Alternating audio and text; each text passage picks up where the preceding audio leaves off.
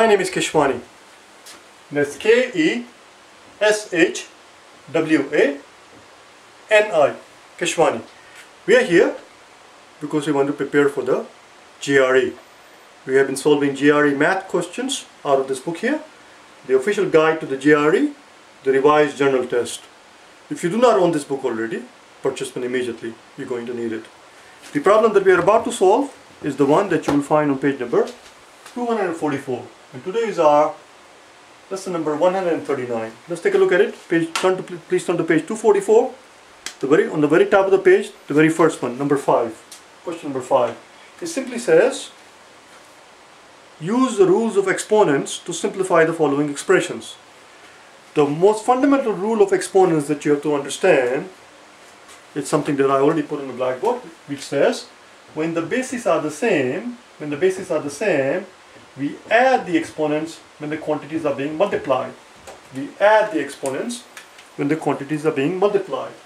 And if the quantities are being divided we subtract the exponents. We subtract the exponents if the quantities are being divided. That's all. That's all it is. For example for example for example, 2, 2 to the third power divided by 2 to the second power, well we know 2 to the third power is 8, we know this is 4, 8 divided by 4 is 2, the answer should be 2, and this is how we do it. Since the bases are the same, this is the base of 2 and this is, a, this is the exponent base of 2 and this was the base of 2. Since the bases are the same and the quantities are being divided, we subtract the exponents, 3 minus 2, which is 2 raised to 1, which of course we knew was 2. Of course you know all this thing, obviously. So that's what we're going to do here. That's the rule we're going to use here to find out.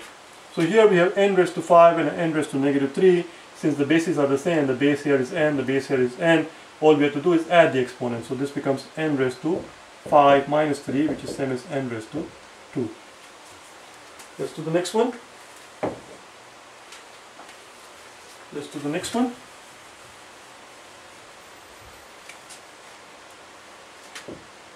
B says s raised to 7 uh, times t raised to 7. Now the bases are not the same. This quantity has a base of s, this quantity has a base of t. Since the bases are different, there is nothing we can do here. It just stays like that. It's simply s times t raised to 7. For example, 2 raised to 2 raised to 3 times 3 raised to 3 there is nothing we can do with it. It is simply 2 times 3 raised to 3 or 6 raised to 3. 6 raised to 3. That's what it is. And you can verify this yourself. Do it out yourself. Find out. Multiply 8 times 27 and you will see that that is same as 6 times 6 times 6. 6 times 6 is 36 and 36 times 6 is 216. You will see that you will find 216 here. 27 times 8, 8 7 sevens are 49. 49 plus another 7 make it 56. You see, 6 and then 6. Carry 5. Carry 5. 16 plus 5 is 21. There you go, you see? It's the same. 8 times 8 times 27 is same as this quantity right here, which is what this is.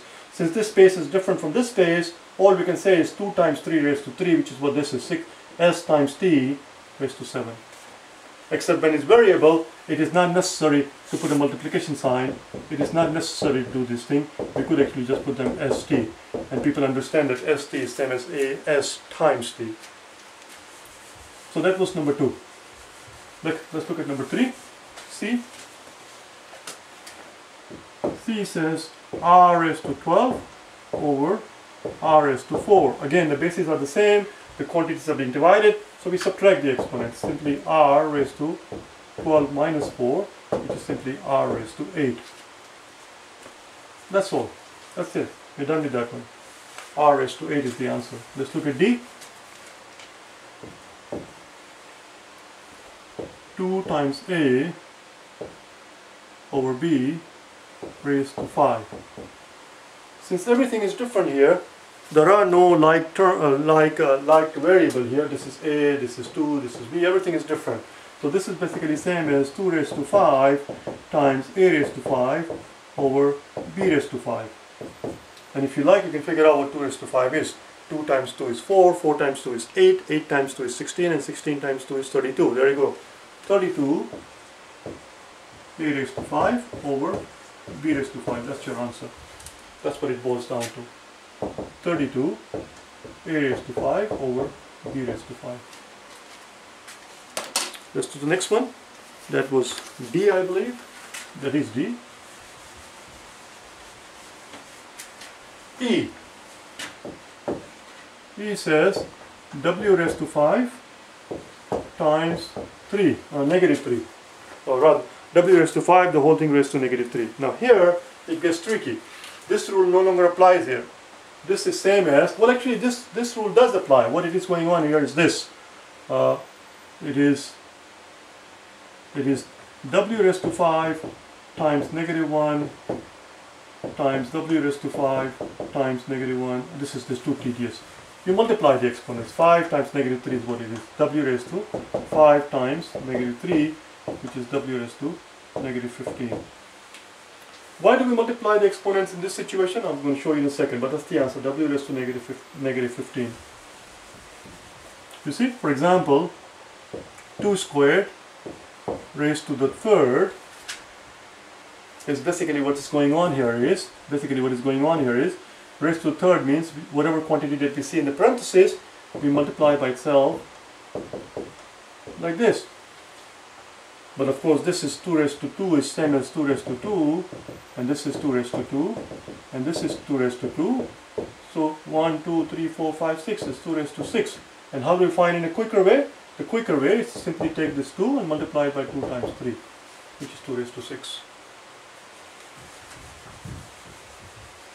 Let's do the next one. That one was what? That one was E. Let's do F. 5 raised to 0 times d to the third. Any number, any number raised to 0 equals 1. This is something that you have to know. That is something that you must know. 37 raised to 0 equals 1.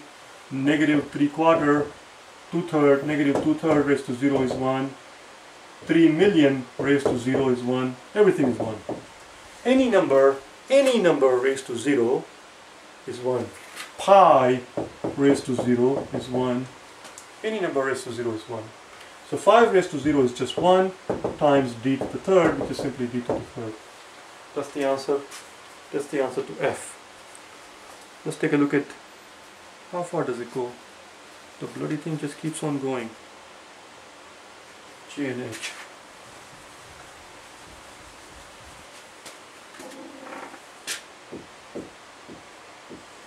G is x raised to 10 times y raised to negative 1 over x raised to negative 5 times y raised to 5. Now they do not actually write it like this, do they? No, they do not. Trying to find it as I'm speaking here. No, they write it differently. They write it with all the parentheses around it. But the way they have written is the exact same thing as what I've written here. There is no difference. Putting the parentheses around everything is not going to change anything. I can do that if you like. Putting, putting the parentheses around everything is not going to change anything. It's still the same thing. It's just that putting the parentheses around it makes it visually easier for us to see that this is a quantity by itself which is being multiplied by this quantity by raised to, it keeps everything separate. So here, here I see x base of x and here I see a base of x. Since they are the same bases, the exponents have to be subtracted because this quantity x raised to 10 is being divided by x raised to negative 5. When they are being divided, we subtract the exponent. So this becomes x raised to 10 minus, let's, let's do it step by step. Let's do it step by step. So what this is is x raised to 10 over x raised to negative 5 times y raised to negative 1 over y raised to 5. Now let's do it one more step here. Now since these are the same bases, this basically boils down to x raised to 10 minus the bottom exponent, which is a negative 5, times y raised to negative 1 minus a 5. Which gives us which gives us x raised to negative times negative becomes positive so it's x raised to 15 times y raised to negative 6 y raised to negative 6 which can be written as x raised to 15 over y over 6 y raised to 6 that's your answer. That was G. We have one more to do one more to go before we finish this problem. Let's do it then. That was the G let's do the last one here we already have our rules so let's do the last one we can do it right about here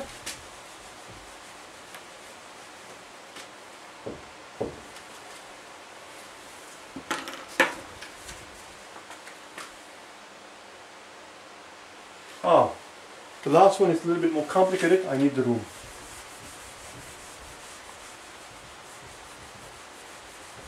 Complicated if you if you don't remember the, these things from a long time ago. And of course, if you remember it, then it's very simple.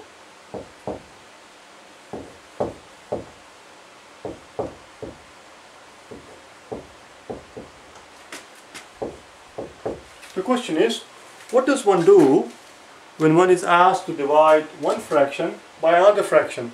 This is a fraction and we are asked to divide by another fraction. For example, for example, if somebody asks you to divide this thing here, 20 over 5 divided by 9 over 6.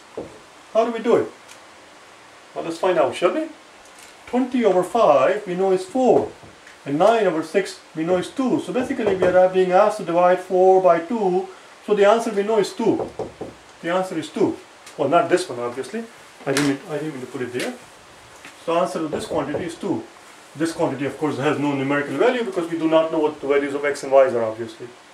This, this quantity equals 2. Let's see the pro process. What is the process behind it? Now, of course, here we, knew, here we knew the numerical value, so we could actually do it out and figure out the answer is 2. Now we have to pretend that we don't know these values. These are some variables. So what do you do? You take your first fraction and you multiply it by the reciprocal of the other fraction. Multiply it by the reciprocal of the other fraction. And this is not getting me anything that I was looking for, nothing at all. Something has gone wrong. 9 divided by 6 is not 2, it's just a 3. I needed a 2 here. I needed a 2. This should have been 12.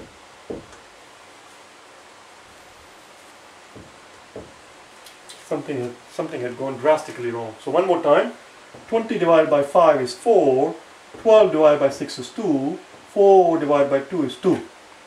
And what you do is you take your first fraction and you multiply it by the reciprocal of the other fraction. So 12 over 6 becomes 6 over 12. Let's see what happens now. And it better give us 2 at the end because we already know the answer. The answer is 2. So let's do it together. Divide top and bottom by 2 here. 6 becomes 3, 12 becomes 6, divide top and bottom one more time by 2 so 6 becomes 3 and 10 becomes 20 becomes 10 divide top and bottom by 3 3 cancels out. We end up with 10 divided by 5 divide top and bottom by 5 and 10 becomes 2 and 5 becomes 1 2 over 1 is 2 voila. You see? The answer is 2 so that's the process. One more time. One more time. When we are asked to divide a fraction by when we are asked to divide one fraction by the other fraction, we take the first fraction and we multiply it, we multiply it by the reciprocal of the second fraction. That's all. That's what we're going to do here.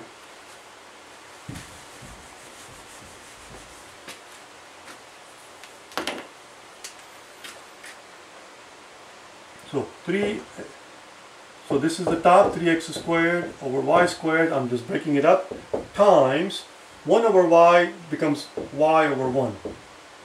So y to the fifth and 1 to the fifth. And of course 1 to the fifth is just uh, is just 1.